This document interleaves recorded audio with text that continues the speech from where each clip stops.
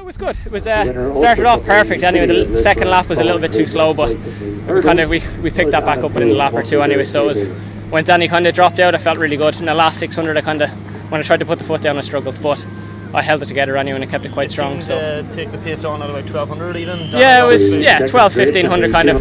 Was it Danny's try, focusing the triathlons anyway? So I was kind of thinking if I got to 1500 anyway, it would be plenty because once I get into a rhythm, I'm on ground, I can do whatever I want then, so it's not too bad. So look, chuffed. It's a it's a good opener anyway, first outdoor race. Not far off my outdoor PB, but all considering it was a good run. Obviously, you're on 755 in Boston uh, indoors, so Yeah. obviously there's, there's plenty more in the tank. Oh, there. there- there's definitely more in the tank. Like if I was in a, a race where there might have been three or four of the lads in around the same kind of time, it would have been a lot different. You would have been kind of fighting off each other. So no, look, it was good, and I was kind of happy I had that test to kind of be on my own to hold myself together a little bit. So at least I know like if I'm out in no man's land in a different race, I'll be able to hold it together. So it's not too And, bad. and obviously now in the build up to Rio, what's the plan there? 1500? Uh, we're actually we're going to have a pop at the 5k to try to get the European standard first in three weeks, and depending on the standard is 30 and 35. So if I was to get down close to the 30 and 30, we might think about the 5k. If not, then we'd shift back to the 15. So look, it's nice to be able to kind of decide I'll go up or go down a distance, so it's not too bad. A lot of other people have to focus on the one. So And where do you suspect you'll be doing that uh, 5k qualifier? uh, doing it in Oordegem in Belgium on the 28th, so three weeks from now. So we'll have plenty of time to get a little bit of work done. Excellent, thank you. Not a problem at all.